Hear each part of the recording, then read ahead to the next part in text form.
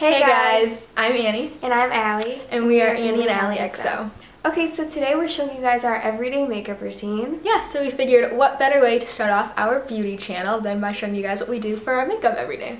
Yeah, so we hope you guys enjoy and let's just get started. So first I'm taking my Marc Jacobs Under Eye Concealer and blending that in with my Beauty Blender.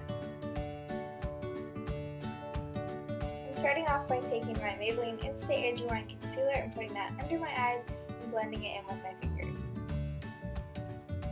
Next, I'm taking my MAC Studio Fix Fluid Foundation, dotting it all over my face, and once again blending with my Beauty Blender.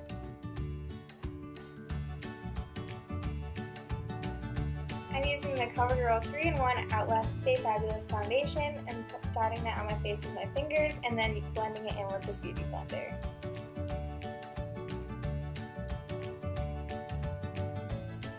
Next, I'm taking my Maybelline powder and putting that under my eyes with my Techniques setting brush. Then I'm applying a highlight from the Naked Flush palette to my cheekbones. I'm using my Hoola bronzer from Benefit and my Real Techniques Expert Face Brush and putting that in the hollows of my cheeks.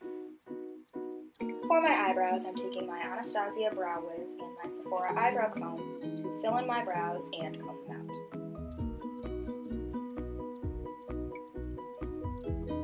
Next, I'm taking my NARS eyeshadow base and applying that all over my eyelids and blending with my fingers.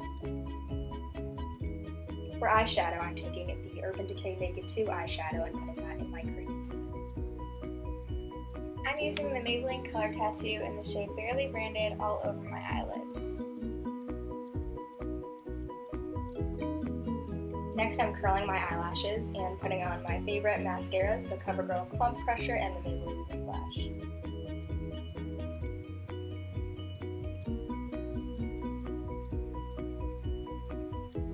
Mascara, I'm using the Maybelline Lash Sensational and putting that on my eyelashes. Then I'm taking my L'Oreal Infallible Eyeliner and putting that on my waterline. And finally, I'm taking my MAC lipstick in Angel and putting that all over my lips. And I'm using MAC's Creme Cup on my lips, and that is it for the makeup.